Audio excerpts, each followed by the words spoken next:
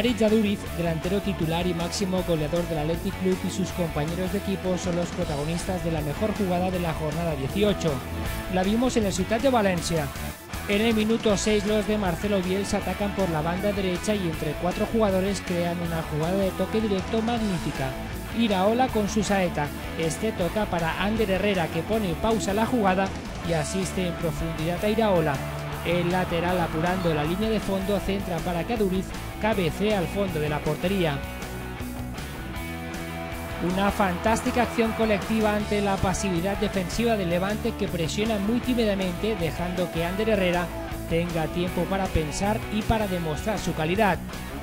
El toque sutil y preciso habilita a Iraola que se la pone perfecta al delantero del Athletic Club que con su especialidad no perdona.